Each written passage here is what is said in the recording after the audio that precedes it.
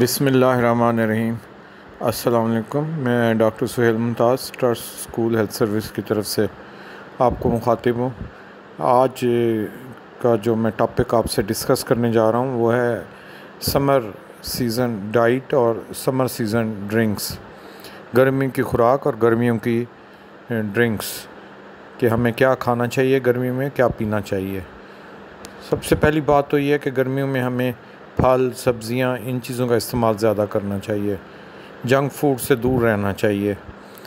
پھل، سبزیوں میں چونکہ آج کل اسٹوڈنٹس گھر پہ ہیں، تو آپ ان کو جنک فوڈ کم سے کم باہر سے منگوا کے دیں یا خود بنا کے دیں۔ بہتر یہ ہے، آپ ان کو گھر کی بنی ہوئی سبزیوں کا ٹیسٹ کا عادی کریں۔ جب بھوک لگے کہ وہ سبزیاں کھائیں گے۔ جیسے آج کل بھنڈی ہے، کریلا ہے، بینگن ہے۔ توری ہے، کدو ہے، یہ سب چیزیں سادی ان کو کھانے کی عادت ڈالیں۔ گوشت میں نہیں ویسے، گوشت ڈالنا بھی ہو تو چکن یوز کر لیں۔ مٹن چکن کا استعمال کم کریں، سبزیاں زیادہ استعمال کریں۔ دوسرا یہ کہ بچوں کو یہ کوشش کریں کہ صبح آٹھ سے نو بجے میکسیمم آٹھ یا نو بجے تک وہ بریک فاسٹ ناشتہ کر لیں۔ اس سے لیٹ پھر ناشتہ نہیں ہوتا، وہ برنچ ہو جاتا ہے۔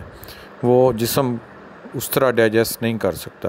صبح آٹھ بجے تک ان کو ناشتہ کرا دیں۔ ناشتے میں آپ گھر کی بنی ہوئی چپاتی دیں، دہی دیں، انڈا بھی دے سکتے ہیں، انڈا ہاف بوائل دے دیں، دہی کے ساتھ روٹی کھا لیں۔ ان کو پیاس کم لگے گی، دہی دہی میں چینی کم یوز کریں یا شکر ڈالیں یا براؤن شوگر ڈالیں۔ یا گھر میں اگر شہد ہو تو تھوڑا سا آدھا چمچ شہد بھی ڈال سکتے ہیں۔ تو بہرحال اگر کچھ بھی نہیں ہے تو خالی دہی کھائیں یا چینی ڈالنی ہے تو بہت کم چینی استعمال کریں۔ پھر دن کے گیارہ، بارہ بجے ان کو پھل دے دیں۔ پھل میں آج کل تربوز ہے، واٹر میلن ہے، بیسٹ ہے۔ سستا بھی ہے اور اچھا بھی ہے۔ ایک دن پہلے لا کے فریج میں رکھ لیں، ٹھنڈا ہو جائے گا، صبح کاٹ کے گیارہ، بارہ بجے وہ پھل دے دیں۔ پھر دو بجے ان کو لنچ دیں۔ لنچ میں بھی آپ سبزی کے ساتھ روٹی دیں۔ کوشش کریں کہ ان کو سبزیوں کی عادت ہو۔ اتنی عادت پڑ جائے کہ جب وہ دوبارہ انشاءاللہ اسکول آنا شروع ہوں تو لنچ میں بھی وہ ویجیٹیبل لے کے آئیں۔ تو لنچ میں آپ ویجیٹیبل بنا کے دیں۔ مرچ مسالہ کم استعمال کریں، گرم مسالہ بالکل نہ استعمال کریں۔ ہفتے میں ایک یا دو یا تین بار آپ مٹن یا چکن استعمال کر سکتی ہیں، وہ بھی شوربہ بنا کے دیں ان کو۔ پھر شام کو پانچ چھ بجے ٹی ٹائم پہ پھر آپ ان کو پھل پھل میں وہی ہے، جیسے تربوز ہے یا پھر آم کا ملک شیک بنا کے دیں۔ اس میں چینی کم یوز کریں۔ کوشش کریں بغیر چینی کے ملک شیک کی عادت ڈالیں یہ آم خود اچھا خاصا میٹھا ہوتا ہے۔ اس کے بعد رات کو آٹھ بجے ان کو ڈنر کرا دیں، رات کا کھانا کھلا دیں، رات کو پتلی دال اور روٹی کے ساتھ ایک ٹائم گرمیوں میں سبزیاں دیں اور ایک ٹائم دال بنائیں، پتلی دال۔ اور رات کو پھر دس بجے اگر دوبارہ اگر کچھ دینا ہے تو ملک شیک آپ دوبارہ ریپیٹ کر سکتے ہیں۔ اور اس کے علاوہ رات کو سوتے وقت یا ملک شیک لے لیں یا تھوڑا سا تربوز لے لیں، زیادہ نہیں لینا۔ یہ ہیں گرمی کی غذائیں اور ڈرنکس۔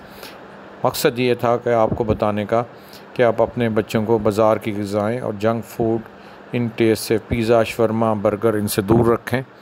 اس کے اس کے علاوہ ٹیٹرا پیک جوسز سے دور رکھیں۔ Soft drinks fizzy drinks, Pepsi, Coke, seven up, Mirinda, ان چیزوں سے دور رکھیں۔ ان کو گھر پہ بنا کے ڈرنکس دیں۔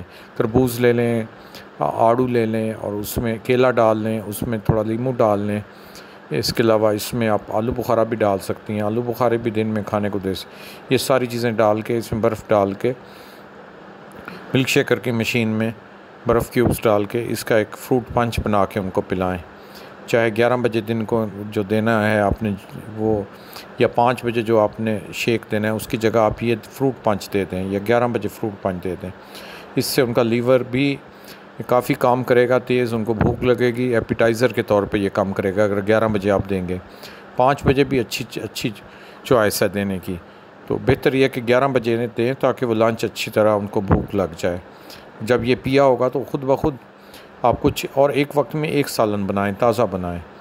اگر آپ دو تین سالن کٹھے بنا کے فریج میں رکھ لیں گی تو بچوں کو چوائس ہو جاتی ہے تو بچے پھر وہی چیز کھانا مانگ، دوسری، اس کی جو چوائس ہوتی ہے، اس کے نمل بدل وہ لے لیتے ہیں۔ بہتر ہے ایک سبزی بنی ہو، ایک دال بنی ہو ایک وقت میں، تاکہ ان پاس سیکنڈ چوائس نہ ہو۔